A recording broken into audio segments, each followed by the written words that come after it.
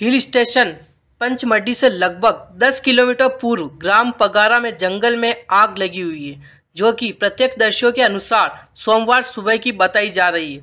यह video social media पर काफ़ी वायरल हो रहा है, जिसमें धधकती हुई आग साफ़ दिखाई दे रही है। प्राप्त जानकारी के अनुसार, आज दिनांक तक किसी भी संबंधित अधिकारी द्वारा आग पर किसी प्रकार का कोई बयान सामने नहीं आया है।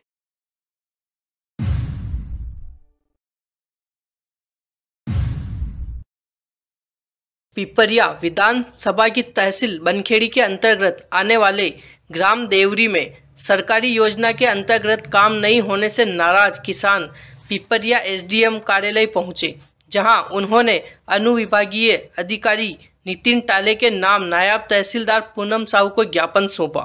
सब यही समस्याओं से बहुत परेशान हैं। कहाँ से आए आप लोग? देवरी से। कहाँ पे पंचायत है ये? ये ग्राम पंचायत देवरी जिला बनखेड़ी। जिला होशंगाबाद। क्या समस्या है आपके पंचायत समस्या सर पानी पीवे मिल नहीं रहा रहवे घर नहीं है। और कई समस्या रोड है तो कोई शमशान है तो कोई टूटो पड़ो कहीं हवा में उड़वा कह रहे हैं सरपंच साहब नाली को विधि पूर्वक काम नहीं भाव तो आपने शिकायत की थी इसकी पहले? शिकायत नहीं से कहे तो सरपंच साहब से तो वो क्या बोलते हैं वो? वो बोलते हो जाए सब हो जाएगा सब हो जाएगा। सचिव से बोले थे आप लोग सात महीना पहले ट्यूबवेल खोदा नल जल योजना में लेकिन अभी उसका निर्माण नहीं हुआ वो मतलब पाइप वगैरह नहीं डले तो सरपंच द्वारा क्या बोला जाता है आप लोगों को?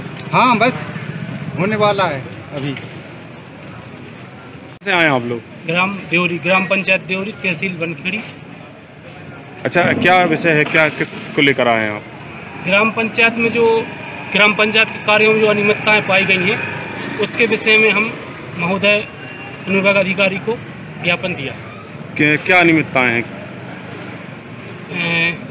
भवन निर्माण सामुदायिक भवन निर्माण रोड निर्माण नाली निर्माण शौचालय निर्माण आवास योजना। जी। इनमें इनमें अनियमितताएँ हैं। अच्छा इससे पहले आपने कभी किसी जिम्मेदारों को अवगत कराया है विषय से? कहीं और शिकायत की है क्या? सर मैंने एक सौ इक्यासी पर शिकायत की थी। अच्छा। पिछली सात तारीख को। कोई निराकरण हुआ है कोई निराकरण नहीं। जिसके बाद आप यहाँ आए? जी। अच्छा क्या चाहते हैं आप लोग? हम सर निष्पक्ष जाँच चाहते हैं इसकी। सरपंच द्वारा किए गए कार्यों की निष्पक्ष जाँच चाहते हैं। देवती के ग्रामीणों द्वारा ग्राम पंचायत में हो रही अनियमितताओं को लेकर श्रीमान अनुभागीय अधिकारी महोदय को संबोधित एक ज्ञापन मेरे समक्ष प्रस्तुत किया गया है। तो चूँकि उक्त ज्ञापन श्रीमान अनुभागीय अधिकारी महोदय को संबोधित है तो उनको आवश्यक कार्यवाही हमारी ओर से प्रेषित किया जाए।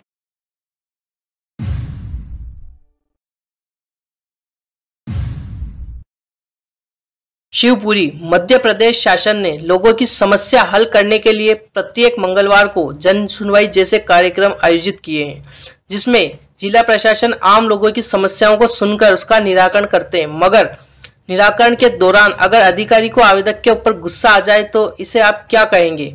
ऐसा ही वाक्य शिवपुरी ज़िले में देखने को मिला, जहाँ पर जन सुनवाई कर रहे शिवपुरी कलेक्टर अक्षय कुमार सिंह आवेदक पर ही भड़क उठे और आवेदक से बोला कि आपके आवेदन पर निराकरण लिखकर दे किया।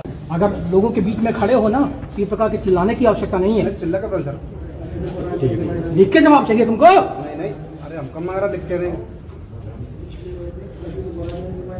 तुम्ही को गुस्सा आती है? बंद करो जी। मोबाइल दो ना।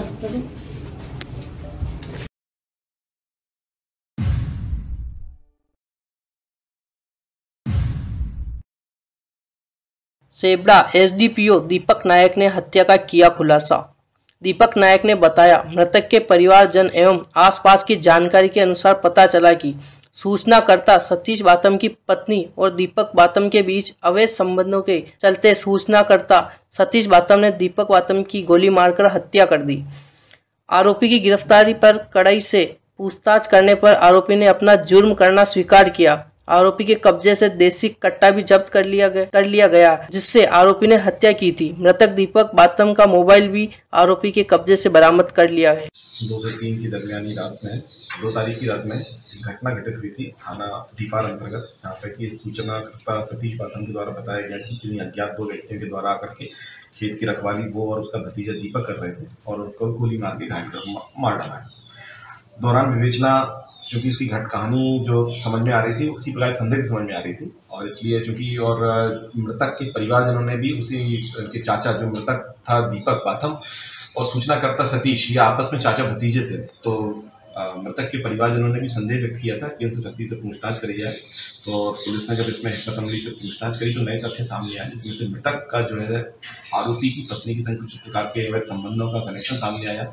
और आरोपी से जब अच्छे से पूछताछ करेगी तो उसके द्वारा अपने जुर्म को स्वीकार किया गया और उसमें घटना में प्रयुक्त कट्टा तीन सौ पंद्रह बोर का हो और एक मोबाइल जब्त कराया गया। और इस प्रकार से घटना में खुलासा किया गया कि सतीश पाथन ने ही इन संबंधों के चलते जो है अपने भतीजे दीपक का फायर आर्म से मर्डर किया।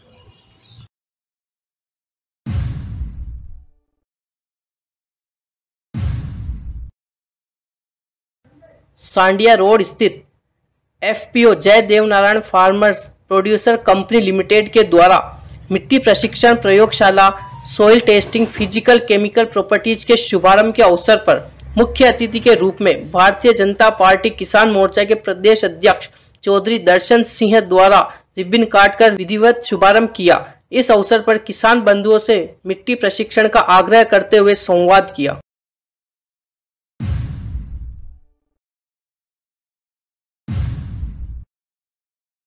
पिपरिया, आयशा आर्केड में राजीव गांधी पंचायती राज संगठन का सर्वोदय संकल्प शिविर आयोजित किया गया, जिसमें राजीव गांधी पंचायती राज संगठन की राष्ट्रीय संयोजक एवं मध्य प्रदेश की प्रभारी नंदा महात्रे, संगठन के प्रदेश अध्यक्ष हेमंत टाले प्रदेश सचिव मोहन बिश्नोई विशेष रूप से शामिल हुए।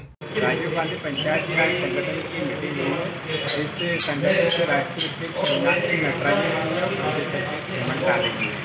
हमारा मुख्य उद्देश्य राजीव गांधी पंचायत राज संगठन का है संविधान को बचाना है देश में जो एक विचारधारा पूरे देश में जहर घोलने का काम कर रही है आपसी भाईचारा विवाद मिटाने का जो काम कर रही है, इस विचारधारा से की हमको हमारे ख्याल के साथियों को गाँव गाँव में तलाशना है और हम हर ज़िले से पचास साथियों को तलाश करें ताकि ज़मीन से जोड़ के पार्टी को वापस खड़ा कर सकें और संविधान की रक्षा काम करें। इसीलिए हमारा संगठन पूरे देश में काम कर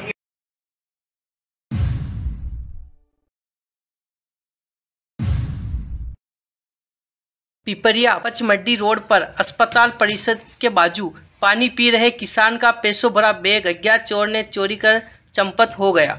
मामले की जानकारी लगते ही पुलिस प्रशासन में हड़कंप मच गया। स्टेशन रोड थाना पुलिस के अनुसार जगदीश पिता भाई गुज्जर निवासी घोगरी ने थाने पहुंचकर शिकायत दर्ज कराई। जगदीश पटेल। कैसी क्या घटना हुई आपके साथ? मैं गेहूँ बेचने आया था। गेहूँ बेच के पेमेंट ले लिया हरिशंकर मोहनलाल के घर से। तो पेमेंट लेके तो गाड़ी से आ रहा था। तो मैंने कहा अब इसको कोई घर में ले जाऊँ पैसा। बैंक में जमा कर दूँ चले गए। सरकारी बैंक मेरा खाता था। तो मैं वहाँ गेट के वहाँ रुका। प्यास लगी मुझको। तो भाईजान गैरेज को वहाँ पर चिल्ड बॉटल रखी हुई थी। तो मैंने वहाँ गाड़ी खड़ी करके बाजू में और पानी पीने के लिए उतरा ही। हूँ इतने में एक आया आदमी तो उसने थैला निकाल कर तो दूसरे बाइक पर बैठ कर निकल गया। किस और भागे हैं वो? पचमढ़ी रोड का जान पहचान के आपके की नहीं है? तो जान पहचान खोते होते झकाया आदमी के जोरे चले जाते ना अपन